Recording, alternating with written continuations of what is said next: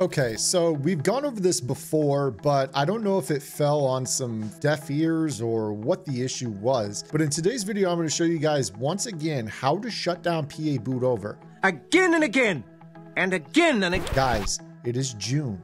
It is June. Please listen. These are free interceptions. Free interceptions on the other side of this intro. Let's get into it. What is up guys, Zan from the Z-Man YouTube channel and PA boot over is still one of the most spam plays in Madden 22. It has been all year, whether it's the escape artist or the delay fade or just throwing the post up over the top, players do not have an answer for this. What's up guys, just want to say thank you so much for helping me reach 13,000 subscribers here on the Zan Madden YouTube channel. It means a ton to me that you guys are still supporting in the late spring into the early summer and we're going to be pushing forward towards Madden 23 before you know it. If you guys could do me a quick favor, make sure that you guys hit the like button, subscribe to the channel, and if you're really wanting to help, make sure you guys drop a comment below. It helps push this video in the algorithm and helps this content get out to other Madden players just like you that are looking for Madden tips tutorials. Now back to the video. You guys here on the channel, you guys have seen some of the videos that I have put out where we talk about protect the sticks and cover three cloud, but there's one tip in particular that I put out that has completely changed the game for me defensively. And I know for a lot of you guys, you probably have seen this, but you don't actually put this into practice nearly enough. I want to go ahead and hammer home the importance when you face the bunch tight end, the most important thing you can do is man up the running back. I'm going to say that again.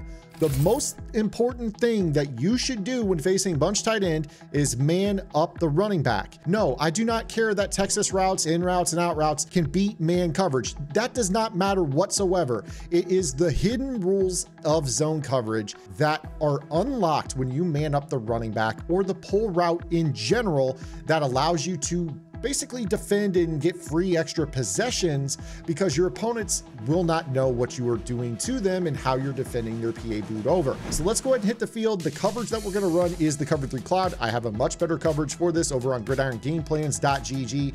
I know it's late in the year. Go over to Gridiron Game Plans, $9.95 a month. You can unlock the entire website. That's everything I've done all year long. This is the best time of the year to learn and kind of expand your Madden library to the point that you're going to be able to really take a lot of these concepts that, you know, players that are on the website listen, but there's a lot of you guys out there that still are stubborn for whatever reason when it comes to defending this play. Take those concepts and apply them. Seriously, no better time. Go over to the website right now. Let's get into it. Cover 3 Cloud, what we're going to do here is we're going to man up the running back man up the running back. And the reason for that is that tells the deep zone that he does not have to worry about the running back wheel. So it doesn't matter who it is, anybody on the field. I'm just going to make it real easy for you. I'm going to take my user and man him up.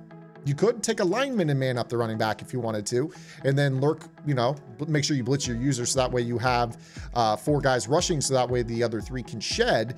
But it's up to you how you want to do this. Somebody has to be in man to man on the running back. I'm going to put uh, a defensive tackle. Let's put Stewart on him. Now, what this is going to do, and I'm going to spy the rush so they don't shed. Uh, what this is going to do is it's going to tell this guy right here, Willis, to get back on the post. So as it pertains to this route combo, everybody likes to have a streak, a whip, a post, and then a running back wheel, and then they just basically max protect it. You're going to see here that the guy being in man coverage on this particular route allows that outside third to get back underneath this, and you can't throw it over the top. It's going to get intercepted every single time. I don't care what release they have. I don't care what velocity ability they have, it will be intercepted nearly every single time, especially so if you use generic 3. I know a lot of you guys don't like hearing it, but those velocity abilities on generic 3 are absolutely terrible. They are. I'm sorry, traditional 1 throws a zippier pass, Slinger 1 throws a zippier pass, even if there's a little bit more of a windup, the velocity that you get on those two releases is far better on this throw. So for those of you that are out there running around with generic 3, you're going to be throwing a lot more interceptions against this particular defensive tip than if you were using Slinger 1 or traditional 1, but I know it's late in the year. You guys aren't going to switch. I just wanted to leave that out there for you guys. Again, this is all about manning up the running back. If you have the running back manned up, the outside third will play the post. And it doesn't matter who it is that's manned up. Again, if I wanted to, I could rush four, just pretend that I'm going to use the running back by putting my user and man on him, and then I'll just play my hook zone anyways. And what this is gonna do is it's gonna make it so that the outside third is going to get back on this post. Now, right there, you saw what happens when, when, we, when we run the defense and we get a double team split. DeForest Buckner is insane. Again, I'm going to put my user in man-to-man -man on the running back. I'm going to spy off the rush here just so you guys can see this. And this outside third will get back. It doesn't matter if I shade down. I'll shade down into hard flats. This outside third will not be fooled by this. Just somebody being in man on the running back is enough for this to work. So again, as you see this, I want you to watch that top right safety. You see that he's going to get back, and that's going to end up being an interception. You're just not going to be able to throw it. Simply put, you're not going to be able to throw it. Now, when you do shade down, he'll hang out lower just because of the shaded down. But again, he has affinity for that post route. He's not going to be fooled by that. Let's take this concept and apply it elsewhere. We also did a video not too long ago about wheel routes. Wheel routes, again, one of those particular routes that players just don't know how to defend. If you guys know the trick of manning up the route that is the pull route, you will defend the route which is the primary route. You man up the pull to guard the primary. Let's go ahead and do this here. I'm going to show you guys mesh spot. Everybody knows mesh spot. So with this particular defense, what we're going to do is I'm going to put in a linebacker. Let's uh, real quick. I'm going to put in I'm going to put in a outside linebacker at this spot. So let's put in Let's put in speed. Speed. He's got a little bit more speed, uh, pun intended. But what we're going to do here is we're going to do the man up the pole to guard the primary. So in a case of a wheel flat combo, the pull route is the flat route. It's the zone. It's the route that's designed to pull the zones to the sideline and open up the inside lead to Chase Edmonds. So what we do is we put somebody into a flat, doesn't matter who. I think that it's better if you put an inside player in a flat, and then you man up the pull. Right here, I'm just gonna man up the pull with my user. And I'm just gonna hang out right here. And what you're gonna see is that because that route is manned up, you see that speed is right there to pick that off.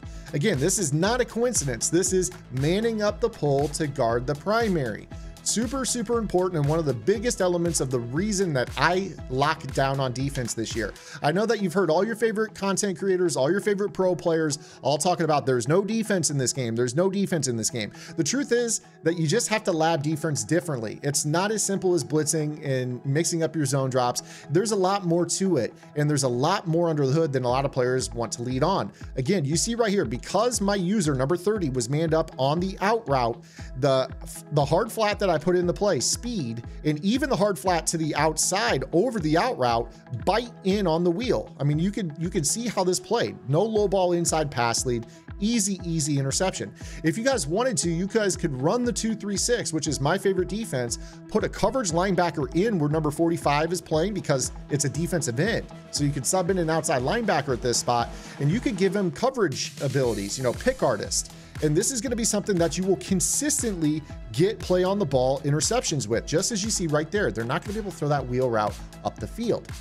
Again, the same type of concept can be played to the other side. So let's say that we have the ball and we wanted to run this flipped, right? So, um, you know, maybe they come out and they flip their play.